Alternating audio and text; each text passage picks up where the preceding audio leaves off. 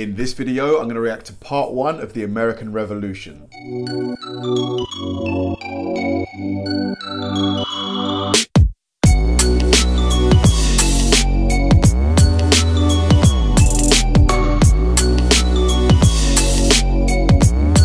Hi guys and welcome to another episode of Kabir Considers. This is the place where I react to music, media, sports, anime, anything related to popular culture. I'll watch it with an open mind and give you my 100% honest reaction to it.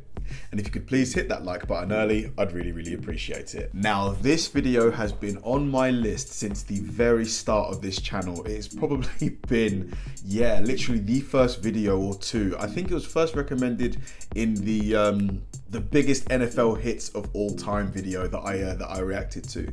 I literally know the only thing I know about the American Revolution is is that I believe the United States at one point was colonized by the UK, or we had we held some kind of influence over there, and that the American um, the uh, I think it was thirteen. Uh, uh, divisions or 13 sections of the of, of America united and fought against the British and basically won. So that's pretty much all I know. I don't know any of the details. I don't know the chain of events that kind of led to that or the key people involved. I think maybe George Washington might be might have been involved.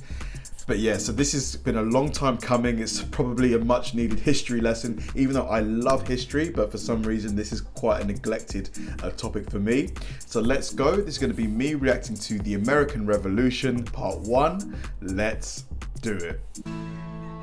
Holy smokes, Christopher Columbus, that is no way to address the king and queen of Spain. What is wrong with you? Okay, okay, so you know how we're looking for a new trade route to India, right? Right. And the earth is round, right? Right. So Ah, okay. So this is the, the, the pitch to get funds for the voyage, I imagine. I'm thinking we can just sail the other way around the planet, right? Yeah. So I set sail, right? Mm-hmm. And I reach India, right? Right. Wrong. Wrong. I did not reach India. I did not. All right. No. All right. Get to the point. Did you know there's a whole nother freaking continent out there? Okay, and you think I should care about this? Why? Oh, I'm sorry. Did I forget to mention there's gold everywhere? Ah. Gold?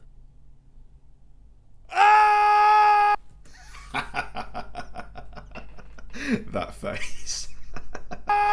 Columbus landed in Central America in October 1492, and he had the time of his life. And by that I mean he went on a huge theft and murder spree. He stole gold, jewelry, people, and a hammock. And then he returned to show off all of his riches, including a few previously undiscovered items such as tobacco, the pineapple, turkeys, and a hammock. Now, Really, the pineapple? Huh? I thought I would have thought that would have been uh, discovered quite a while ago. I know what you're thinking, but oversimplified, Columbus didn't discover America, the Vikings did. And you'd be partially right. In the 11th century, Leif Erikson was the first European to land in America. But hey, if you love Vikings so much, then why don't you check out today's sponsor?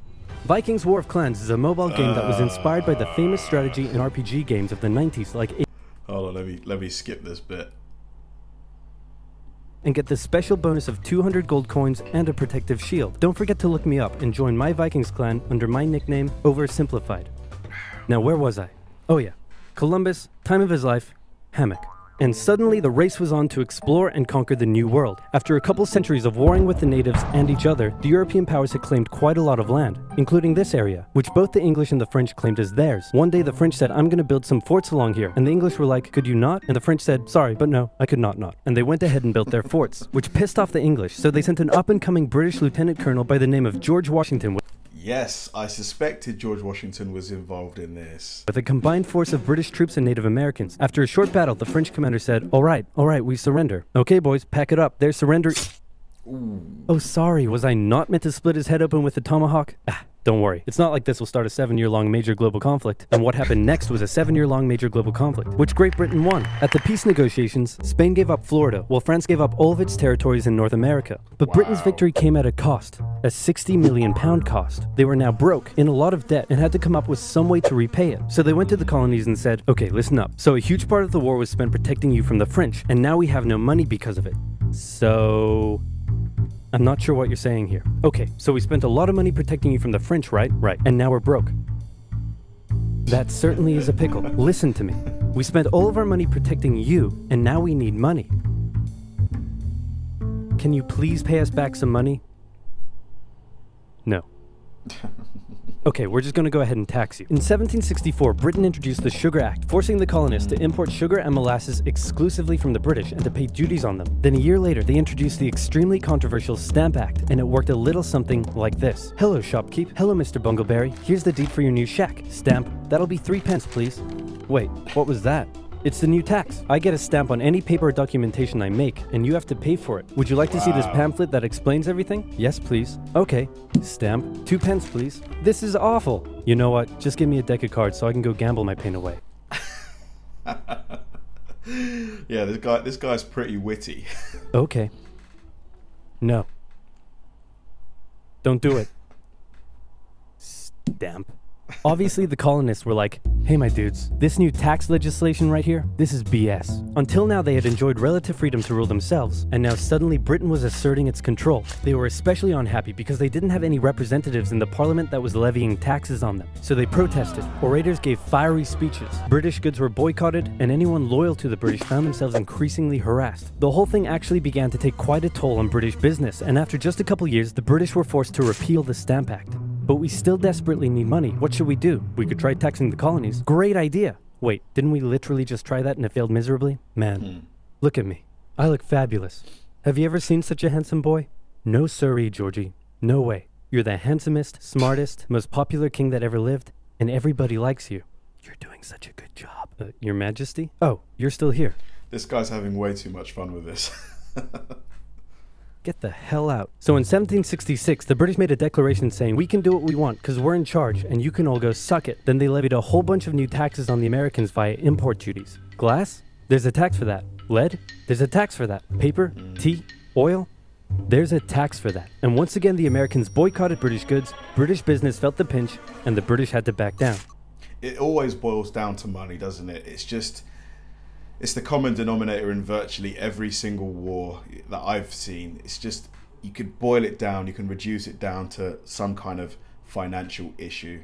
All right, this is ridiculous. They're my colonies, and I have to be able to assert my control. Repeal all the new taxes except for the one on tea. Also send 1,000 troops to Boston to take control. Oh, and make the colonists pay for them. And as British troops arrived, the tension in Boston was palpable. You could cut it with a knife, and it was all about to come to a head. On March 5th, a band of local patriots began heckling a British guard at the customs house. More and more Americans joined in the heckling, while more British troops turned up in support of their comrade. Snowballs were thrown at the British. The snowballs turned to rocks, the rocks to oyster shells. The soldiers, outnumbered, panicked. One thing leads to another, and you can see where this is going.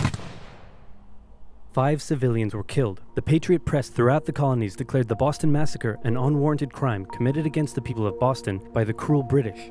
It's just it's crazy how things can escalate quite rapidly. You know, chaos. The anger continued to grow. A British revenue schooner that ran aground in Rhode Island was burned by the locals. When it came to light that the governor of Massachusetts supported the suppression of the colonists, his house was burned by the locals. And next, the colonists would set their sights on the remaining tax on tea. On December 16, 1773, a band of patriots known as the Sons of Liberty disguised themselves as Native Americans, marched down to Boston Harbor, boarded a British merchant ship loaded with tea, and in front of thousands of spectators, threw nearly 10,000 pounds worth of tea overboard. Oh wow. British were disgusted and they punished Massachusetts Ironically, tea. with a vengeance. They dissolved its General Assembly, revoked their charter, and sent 3,000 more troops to occupy the city, meaning Boston and Massachusetts were now essentially under the direct rule of Great Britain. And oh boy, were the people pissed. The other colonies saw what was happening and worried they might be next. So they called a brain trust to decide what to do. 56 delegates from 12 colonies gathered and met in Philadelphia at the First Continental Congress, and the roll call read like a who's who of America's finest thinkers. I'm talking lawyers extraordinaire Johnny A. and Johnny J., experienced military commander George Washington, businessman and future alcoholic beverage Samuel Adams, fiery orator Patty H., guy who married a rich lady, Big J. Dickinson. And while they weren't present at the first Congress, soon names like James Madison, Benjamin Franklin, Thomas Jefferson, and much later Alexander Wow, so it's literally uh, these guys are, you know, a lot of these guys are synonymous with America. A lot of these are huge names. Oh, Benjamin there. Hamilton would all serve time in the Continental Congress. The question now, though, was what to do about the British. After much bitter debate and disagreement, they eventually agreed on an amazing solution. They would simply ask the British to stop. Can you stop? no. It didn't work. Okay, then tell the local militias to start arming and be ready at a minute's notice. And across the colonies, these Minutemen stood ready for the beginning of the American Revolutionary War. Now, having your colonies in open rebellion is one thing. Once they start arming themselves, that's when it really hits the fan. So, British General Thomas Gage ordered 700 troops from Boston out into the rebel controlled Massachusetts countryside to destroy stores of arms and ammunition held by the rebels in Concord. The British set out in the middle of the night. Patriots, including Paul Revere, rode ahead to warn that the British were coming, giving the rebels time to prepare. The two sides met in Lexington as the sun began to rise. Yep, here we go. This is the start of conflict. Faced off against each other, and in the confusion, somebody shot first. The shot heard around the world marked the beginning of the American War of Independence. The rebels were outnumbered and had to fall back to Concord as the British split up to search for rebel supplies. However, more and more Patriot rebels kept showing up, and this time it was the British who were outnumbered as more fighting kicked off in Concord. The most professional army in the world was forced to flee back to Boston at the hands of local, poorly trained militiamen, and all along the British route back to Boston, Patriot rebels continued to gather. This is it though. It doesn't it doesn't really matter if uh, if they're you know the British were the superior skilled army. Numbers at the end of the day, numbers matter. If you're outnumbered five to one, you know in a battle such as this, it's probably not going to end well for you. gather and open fire on the retreating British. When the British reached Boston, the rebel militias surrounded them. Boston and the British were now under siege as small land and naval skirmishes continued around the city.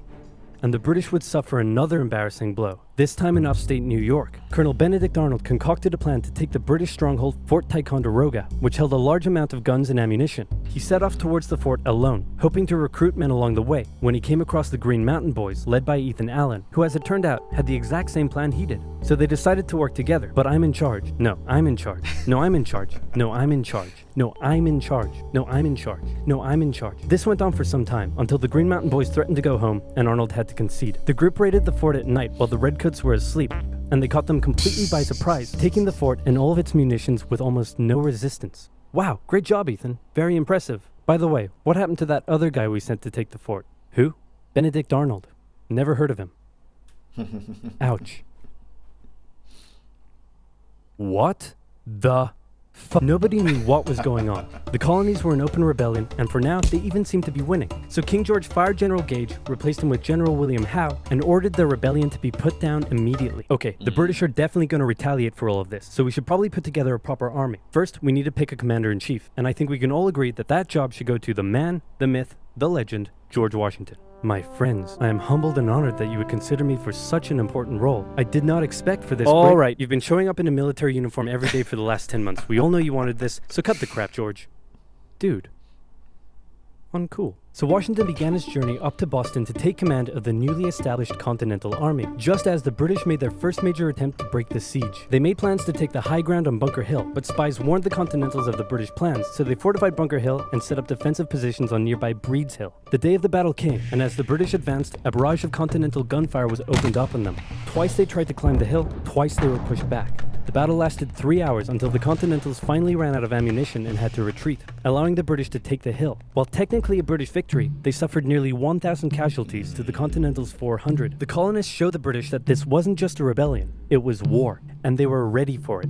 But one thing they weren't sure about was why they were fighting. While some radicals were starting to throw around the I word, most hoped to eventually repair their relationship with Great Britain. So they sent a letter to King George saying, Hey man, looks like things aren't going your way. Remove the taxes and let's be friends? I'm gonna kick your ass. Send that to the colonies. Your Majesty, your handwriting is terrible. Are you sure? Just do it. What does it say? He's gonna lick my Gross. So for the remainder of the year, small engagements continued to occur around the colonies. The British burned down the towns of Falmouth, Massachusetts and Norfolk, Virginia as revenge for earlier anti-British incidents. These actions played right into the hands of patriot propaganda. Overseas, the British were seen as brutes, and the French and Spanish would soon begin sending supplies to the rebel cause. Ah, wow, interesting. Huh. That must have soured relationships uh, between, you know, Britain, the French, and Spanish for a little while, I assume. During this time, there was also minor fighting going on between Patriot and Loyalist militias in the southern colonies. Benedict Arnold was still on a mission to win some personal glory for himself, so he headed up an attempt to invade Canada in a two pronged attack. The Continentals managed to capture some British forts and the city of Montreal, but a harsh snowstorm with some smallpox on the side saw them defeated and pushed back at Quebec City. I've just had a thought. Didn't Benedict Arnold, isn't he a traitor of some kind? Like, I don't know why, but when I hear that name, I remember because it's used sometimes in a in a derogatory way, isn't it? You're a Benedict Arnold. Yeah, let me know in the comment section what is what what is he known for? Know I'm probably going to hear it in this video, but I'm curious. City, and they were forced to retreat all the way to Fort Ticonderoga. Speaking of which, remember all those guns and ammunition? Well, this guy's got a plan for what to do with them. He uses oxen to drag 120,000 pounds of artillery for two months through the harsh winter, 300 miles all the way to Washington and his Continental Oh, Army surrounding wow. Boston. Boom. Washington's got himself some big what the heck is this? Look at this. Guns, which is fortunate because up until now his army had been suffering through the cold winter, not knowing when the siege would end. Now they could make a move. Washington wanted to launch a full assault on the city, but his junior officers felt the British were too fortified, and to his credit, Washington was great at hearing and taking on board the ideas of others. Instead, the Continentals worked through the night setting the guns up on Dorchester Heights, overlooking the city, and when dawn broke and the British saw the guns, they knew they were toast. Their positions were completely exposed. It was checkmate. They had no choice but to abandon the city. 120 ships carried 9,000 redcoats and 2,000 loyalists away to an unknown fate, and Washington had his first victory of the war. Washington Well then done. moved his army to New York, knowing that when the British returned, they would probably land there. In the meantime, a friendly looking old man by the name of Thomas Paine had written and published a pamphlet called Common Sense, in which he advocated for total independence from Great Britain. It spread across the colonies like wildfire, and to this day remains the best selling title in America. It was Wow, really? The best-selling title in America. was read aloud oh, proportional to population, I see. Because obviously back then there's probably much fewer people in America. in taverns and meeting halls and brought the idea of independence into the mainstream. Congress began to seriously consider the idea. Thomas Jefferson was selected to write up an official Declaration of Independence, and he went hard, writing that all men are created equal, with certain inalienable rights, including life, liberty, and the pursuit of happiness. Of course, Jefferson had over 100 slaves, but we don't have to talk about that. On the this guy, oh my god, he's so funny. 2nd of July, Congress voted unanimously in favor of independence, and John Adams declared that the 2nd of July would go down as the most remembered day in American history. Then, a couple days later, independence actually came into effect. The United States of America was born. There was no turning back now. The Americans tore down a statue of King George in New York and melted him down into 42,000 musket balls. To the British, it was treason, and if the king had his way, Washington and all of Congress would be hung. Speaking of the British, guess who's back? The king sent an intimidating force of 130 warships and 25,000 men to New York. Washington knew that taking on the most powerful military in the world wouldn't be easy. The British set up camp on Staten Island as the Americans dug into defensive positions around Brooklyn Heights, waiting for an attack to come. But the British just waited, wearing down their opponent's nerve while building their own strength. At one point, they launched a big scary artillery barrage and then said, You know, if I was you right now, I'd probably sue for peace. But Washington told them to shove it. The Americans kept holding out for what was coming, and when they finally hit, they hit hard. 15,000 British troops approached the American position, and the two sides fired on each other in massive rows. But what the Americans didn't realize was they were only fighting a decoy. The main British force was going around to flank the Americans from behind, and when they arrived, they inflicted heavy casualties. The Americans panicked and retreated back to Brooklyn Heights, where they then found themselves trapped between the British army and the river. It looked as though the war was already lost, but luckily, instead of attacking, the British decided to dig in for a siege, and then a thick fog set in, allowing Washington's army to escape across the river unimpeded. The British continued to chase You could almost assume divine intervention. Oh. and engaged the Americans at Manhattan, and the Americans suffered defeat after defeat after defeat. It was a disaster. Washington's leadership was called into question as thousands of American POWs were left to rot as traitors. Washington's army fled through New Jersey all the way down to Pennsylvania. Rarely had an army been so badly beaten, yet survived to fight another day. Wow. Wow, that was really, really, really interesting. I had no clue that it was, uh, you know, that there were so many events in place. Obviously, common sense would dictate that a conflict like this wouldn't just happen overnight. There's going to be several precursors involved. But yeah, just to just to discover that it was essentially over money. Money was the thing that kind of started this thing is no surprise to me. But yeah, I was, I was happy to see that I made a couple of correct guesses. I, I, I thought that George Washington was involved in some way. And um, yeah, no, I'm definitely going to react to part two really, really soon because yeah, this was a, a real eye opener.